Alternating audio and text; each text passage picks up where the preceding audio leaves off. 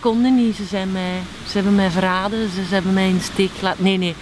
Ehm, eh, eigenlijk, zal heel eerlijk zijn, eh, Sarah de Roo heb ik gepolst om de rol eh, van onze non-directrice te spelen.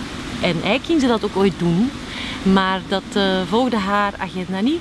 Je weet, ik ben een trouw, ik ben een trouw, trouw hondje.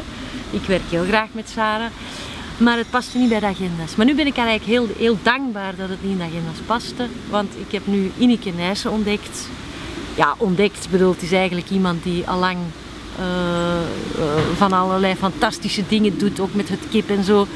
Maar eh, in cinema toch eigenlijk nu aan haar proefstuk pas toe is. Ze voor het eerst eigenlijk een grote rol speelt in films dan.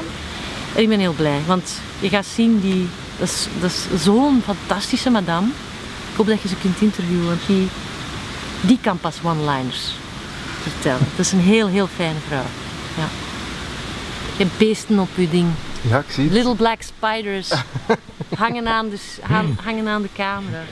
Je had moeten scherp stellen erop. Hij zit ervoor, hè. kijk, hij wil niet weg. Kijk niet waar. Er hangt een little black spider nu aan uw lens, echt waar. En hij is een web aan het maken. Kijk, daar in de hoek.